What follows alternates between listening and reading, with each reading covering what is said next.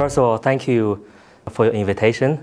It's my honor to be here to share my limited knowledge with fellow engineers, with our fellow researchers, Professor Teo as well. I really appreciate this opportunity. I start this presentation by introduce a couple of our team members, especially from a from graduate point of view. How did that mean when they step into the out of university into industry?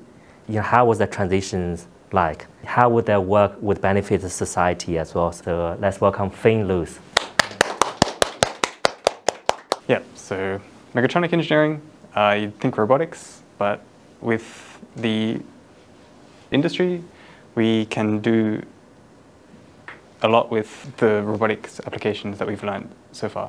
Especially at ACE, we are doing a lot of RTU, SCADA and PLC work. So this is more industrial automation. Everything that I've learned at Curtin is all applied mainly in the industrial automation. So things like mining, uh, water, and um, many other applications, maybe even recycling plants, is some of the projects that we're working on. By RTUs, I mean uh, this is the remote terminal units. They work similar to PLCs, but it's mainly focused on communications. One of the projects that I'm working on is standardizing the water utility SCADA network. So we're designing the entire database for SCADA, basically putting them on mimics. And mimics are basically the, the UI display and how everything is controlled. So it's basically the basis of SCADA. This is what I'm working on at the moment, and we have a range of other projects going on in the background. And another project we're working on right now is to do with RTU communications again. The RTUs are mainly facilitating communications between the PLC and SCADA. There's quite a large impact if you get something wrong. So simple, but very important. Uh, another major thing to solve in regards to problem solving is looking at previous projects, previous work, and the learning never really stops.